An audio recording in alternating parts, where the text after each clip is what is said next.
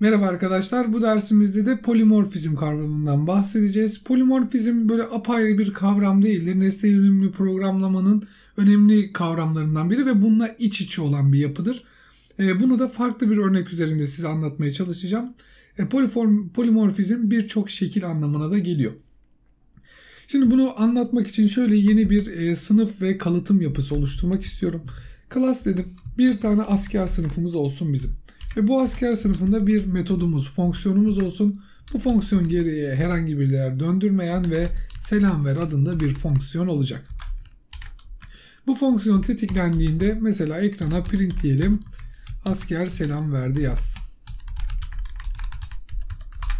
Sonrasında bir er diye bir sınıf oluşturmak istiyorum. Hemen kendime şu soruyu er de selam verecek mi? Verecek. Peki er bir asker midir? Evet. O yüzden ben bu er sınıfını asker sınıfından türetebilirim. Extend asker diyorum. Ve biz önceki derste neyi öğrenmiştik? Metotların override edilmesi. Override işlemi neydi? Üst sınıftaki bir metodun veya bir özelliğin alt sınıf tarafından tekrar yazılması hatta iptal edilmesi. Belki bunu size söylemedim ama ne demek istiyorum? Eğer ben buraya gidip de e, bu er sınıfına ait bir print ifadesi yazarsam bu onu değiştirmek oluyor. Ama eğer ben bunu bu şekilde kullanırsam aslında ne yapmış oldum? Er sınıfında tamam selam ver var ama içi boş. Yani kullanımını iptal etmiş oldum. Böylece üst sınıftaki özellikleri istediğimiz gibi burada iptal edip e, kapatabiliriz diyebiliriz. Bu sefer de er selam verdi dedi. Bir sınıf daha oluşturalım. Bu sınıfta e, ne olsun? Yüzbaşı olsun. Extend deyip asker diyorum. Çünkü yüzbaşı nedir arkadaşlar? Bir askerdir. Bunun da yine selam ver metodunu override edelim. Bu sefer de yüzbaşı selam verdi desin. Yüzbaşı. Evet. Şu ana kadar aslında daha önceden gördüklerimizden herhangi farklı bir durum yok. E, soyut yapılarımızı yani sınıflarımızı oluşturduk. Bundan ne zaman ki nesneler üretmeye başlayacağız o zaman bu artık somutlaşacak. Şimdi burada e, bizim alt sınıflarımız yani er ve yüzbaşı sınıfları üst sınıfı olan asker sınıfının bütün özelliklerini taşıyor. Tamam ben buraya gidip de string asker adı soyadı vesaire demedim.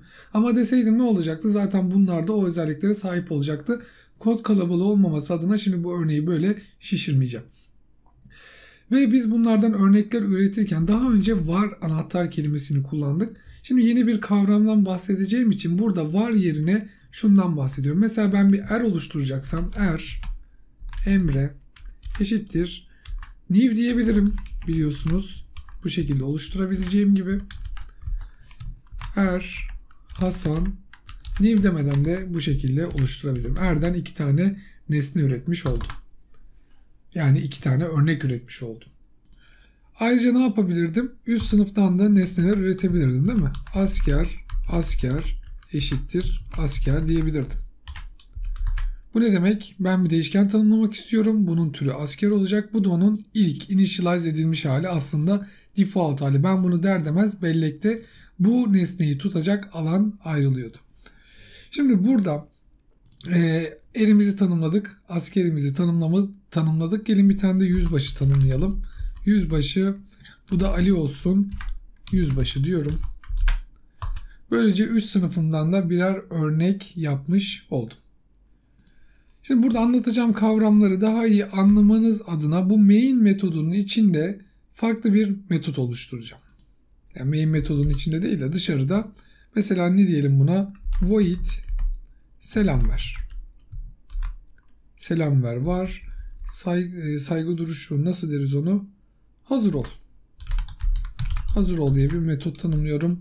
Ve sana diyorum hani normalde string ad dersek e, string türünde ad adında bir değişken gelecek derdik değil mi?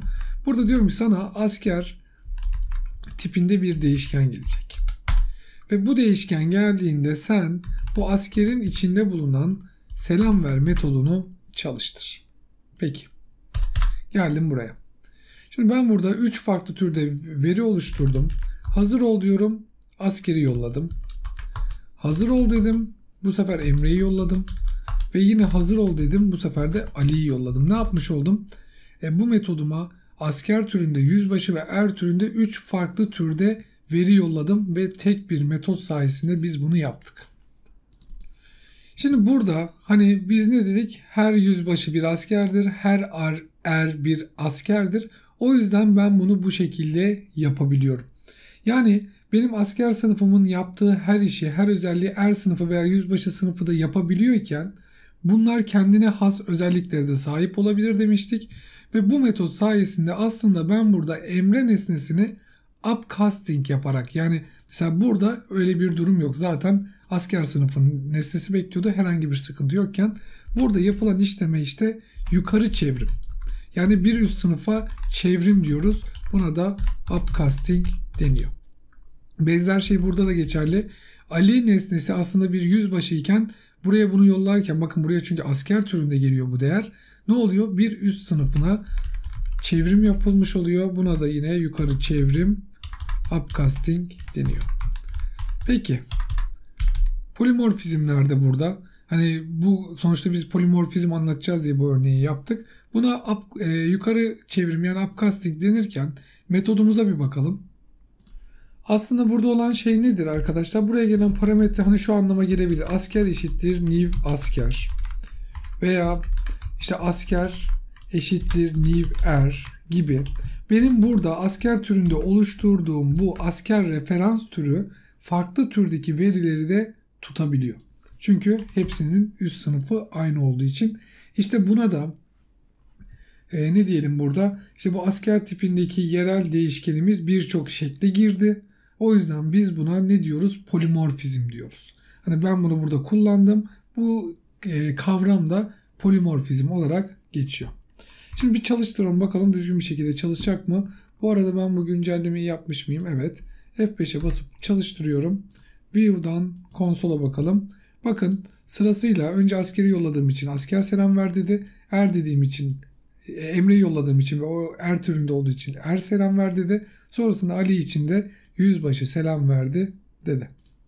Yani buradaki bu güzellik biz dediğim gibi hani bir list tutup ben bu array listi asker saklamak istiyorum deyip sonrasında bunun içine tüm bu farklı türdeki ama tabi üst sınıfları da aynı olan farklı türdeki bu verileri tek bir alan altında toplayabiliriz. İşte bu da kalıtımın veya polimorfizmin güzelliği oluyor.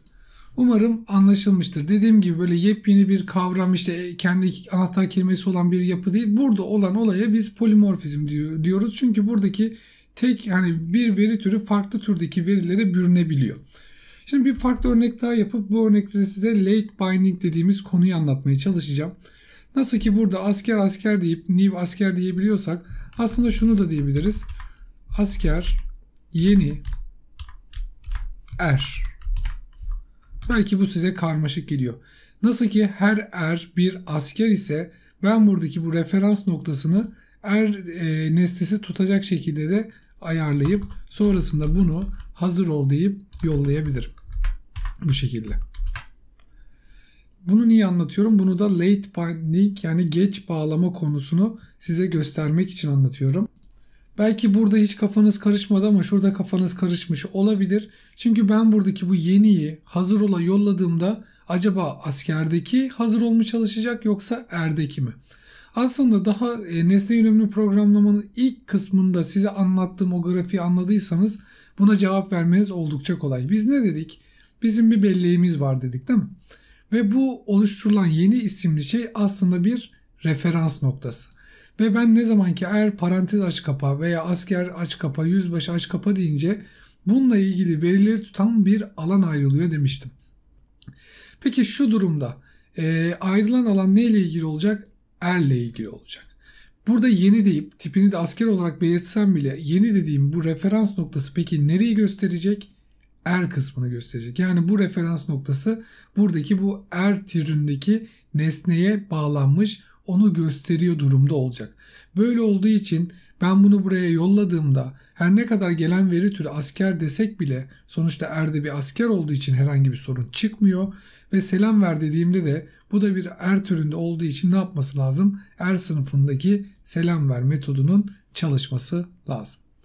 Umarım daha anlaşılır olmuştur. Yani şu, şu basit şekil aslında bütün mantığı bence anlatıyor. Bakın er selam verdi dedi. Her ne kadar bunun türünün e, asker olduğunu belirtsekti. Ya zaten Dart bize var diye bir anahtar kelimesi sunuyor. Bunu yaptığımda hiçbir kavram kargaşası olmuyor ama hani özellikle Java'dan vesaire gelen arkadaşlar varsa e, bunu da anlamaları için bu şekilde anlatma gereği duydum. Ve yine şunu da söylemek istiyorum. Biz bunları öğreniyoruz ama bunlar zaten bir yerden sonra böyle çatır çatır yazacağımız belki Flutter kısmında bu kadar karmaşaya da gerek kalmayacak konular. Orada biz diyeceğiz ki bu bir sınıf bu da bundan türetilmiş deyip geçeceğiz.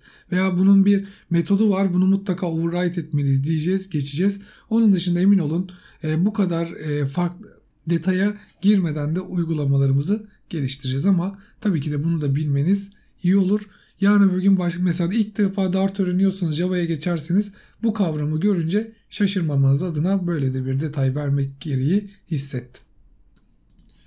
Evet lafı da çok fazla uzatmadan e, yani dediğim gibi Flutter'a yetecek kadar Dart öğrenmeye çalışıyoruz. Böyle çok detaylı size sil baştan algoritmanızı geliştirecek yepyeni bir dil öğretmek istemiyorum. Yani onu yapan Java veya Kotlin kurslarım vardı ama e, ne bileyim Dart mesela okullarda da anlatılmadığı için böyle çok çok fazla mesela şöyle bir sınav sorusu gelirse ne yaparsın diyemiyorum. Çünkü eminim hiçbirinizin okulunda şu an Dart dili öğretilmiyor. Biz Flutter anlayacak kadar Dart bilelim yeter. O yüzden bu dersi burada bitiriyorum. Bir sonraki derste devam edeceğiz.